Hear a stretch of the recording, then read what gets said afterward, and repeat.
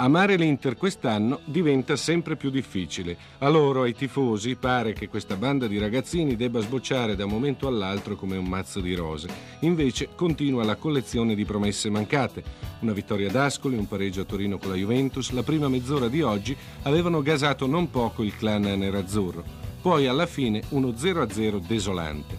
Bersellini dirà che l'area vicentina era più affollata di un grande magazzino del centro, Fabbri risponderà per le rime. Tutti di qua e di là lamentano qualcosa chiedendo aiuto alla Moviola per saperne di più.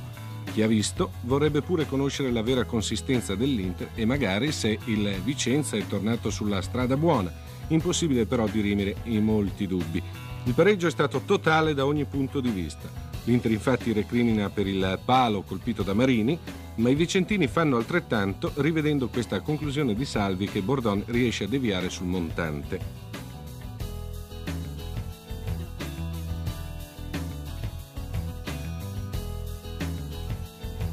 Lo stesso discorso vale per i gol annullati. Non si spiegano gli interisti perché Delia non abbia convalidato il gol di Altobelli.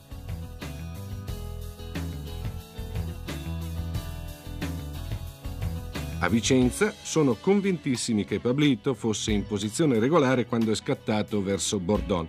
Insomma, questo materiale può servire per stare una serata intera insieme con Sassi e Vitaletti.